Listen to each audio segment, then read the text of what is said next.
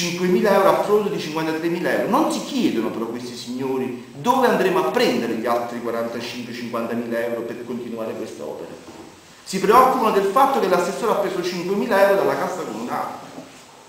ma non si preoccupano degli altri soldi che serviranno e non si preoccupano di come farà l'assessore o comunque il sottoscritto o comunque i frati o comunque chi sta dietro questo percorso a fare cassa, fare gli altri soldi per permettere a questi nostri giovani, per permettere il restauro un patrimonio che è di tutti e della collettività. A volte mi viene voglia di continuare la mia opera da semplice storico e lasciare perdere, però poi mi, mi, mi chiede, mi domando perché, se poi chi vuole capire capisce, chi vuole comprendere comprende, quali sono le motivazioni che ci spingono a fare quello che facciamo. Assessore,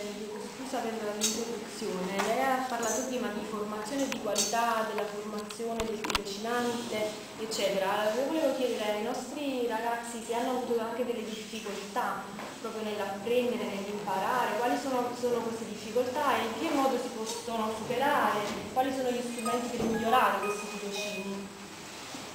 E la domanda è estesa poi anche... Certo. Ah, io, fatto io. No, io eh, diciamo che ho fatto,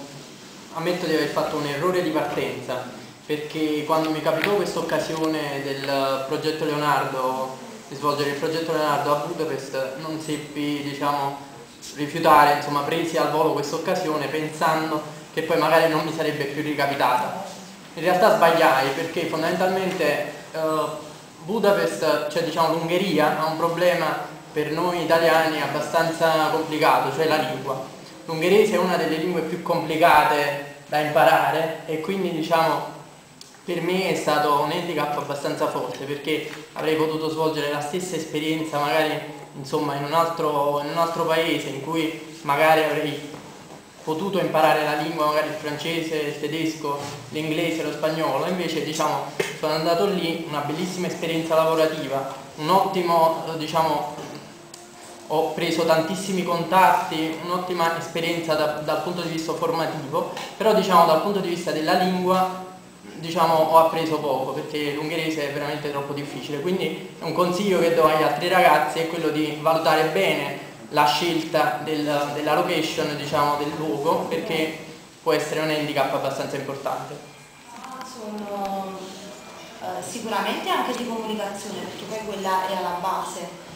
E, ehm, io penso che le difficoltà comunque ci debbano essere, altrimenti il tirocinio non avrebbe ragione d'essere perché il tirocinio si fa per apprendere, per imparare, anche per mettersi in discussione, quindi se non ci fossero difficoltà sarebbe inutile poi uh, metterlo in pratica. L'importante è che davanti alle difficoltà poi non ci fermiamo, soprattutto chiediamo sempre conferma al tutor o al coordinatore uh, di turno e comunque um, dobbiamo essere pratici nel trovare anche noi gli strumenti, perché per esempio io mi sono trovata di fronte ad una situazione ehm, di avere poi eh, rapporti eh, con, um, a contatto con i bambini. E quindi eh, determinate cose non erano, cioè, erano incomprensibili anche perché non ho fatto quel determinato tipo di studio ma bensì un altro. E quindi ho cercato di rapportarmi mano a mano sempre con l'aiuto poi del tutor al, al mio fianco.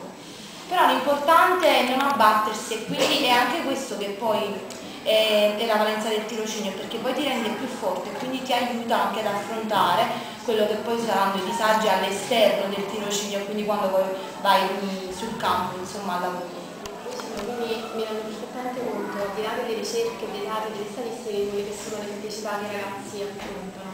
Sicuramente io sono d'accordo, nel senso che eh, i problemi ci sono, ma bisogna cercare di non abbattersi, soprattutto all'interno del tirocinio come un percorso di crescita personale come qualcosa che in futuro ci tornerà in qualche modo. Magari non troveremo lavoro, magari non verremo assunti dall'ente in cui stiamo facendo il tirocinio, ma dobbiamo cercare di prendere tutto quello che di positivo può derivare da questa esperienza. Ovviamente l'auspicio è quello che in realtà, come vedete presentate anche dal, dall'assessore, possano trovare una maggiore diffusione sul nostro territorio e che il servizio magari di orientamento e di placement offerto dalle scuole e dall'università possa essere potenziato, perché fondamentalmente l'università dovrebbe essere il ponte privilegiato per consentire l'accesso al mondo del lavoro e quindi un potenziamento del servizio di placement è auspicabile. In realtà eh, questo eh, restauro conseguente stage formativo vuole essere anche da volare per un altro progetto molto più importante e complesso. Non ho parlato del, della riqualificazione del sito archeologico per cui si sarebbe un altro stagio ancora che prevede eh, la partecipazione di 24 stagisti e quindi è un'altra realtà che affronteremo in secondo momento. Ma quello dei libri, visto e considerato che noi abbiamo un patrimonio librario, insomma vesuvano, custodito presso il primo ciclo e quindi sarà collocato a breve presso Castello d'Aragno, Castello d'Aragno a proprio a Castello d'Aragno sarà fatto il restauro dei manoscritti liturgici, quindi realizzando un vero e proprio laboratorio di restauro, cosa che all'università, neanche l'università eh, è attrezzata in questo modo. Quindi noi abbiamo 600 passa volumi, tutti quasi da restaurare. I paesi limitrofi hanno altrettanti testi importanti, quindi creare proprio una scuola di restauro affinché in comunione con le università, perché loro fanno la teoria e da noi verrebbero a fare la pratica, potremmo veramente entrare in un circuito dove non ci limitiamo soltanto alla formazione dei nostri eh, eh, concittadini, dei nostri eh, giovani, ma una formazione molto più allargata sul territorio. Questo potrebbe poi eh, dire, attrarre fondi pubblici più consistenti affinché un laboratorio vero e proprio possa essere da volano anche per una eventuale poi facoltà di restauro, conservazione e restauro sul nostro territorio. Quindi questo è un progetto molto complesso a cui io tengo tantissimo. Ecco perché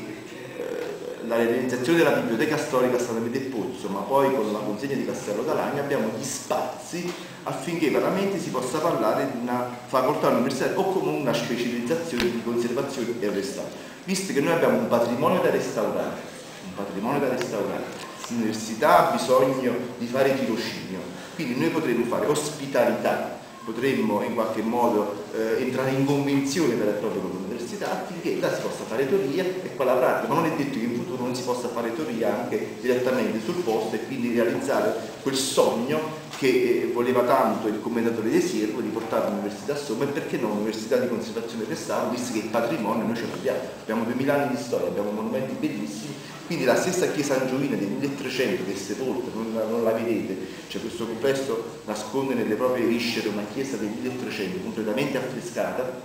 quella potrebbe essere oggetto eh, di studio e di restauro eh, per eh, 10 anni, 20 anni e quindi in qualche modo far crescere anche il livello culturale dell'area vesuviana non soltanto per i nostri giorni ma per tutti quelli che verrebbero qua a sperimentare questa nuova opportunità. Cioè questa è l'intenzione del, dell'amministrazione, dare e fare in modo che ogni progetto non sia finalizzato a se stesso, ma guardi al futuro dei nostri giovani. Io ho 45 anni, eh, tutto quello che eh, sono riuscito ad ottenere me lo sono conquistato vengo da una famiglia umilissima. Eh, quello di direzione dei beni culturali per il quale io lavoro già da anni, un compenso cioè io sulla convenzione confirmato che ho eh, sancito con Santa Chiara di Napoli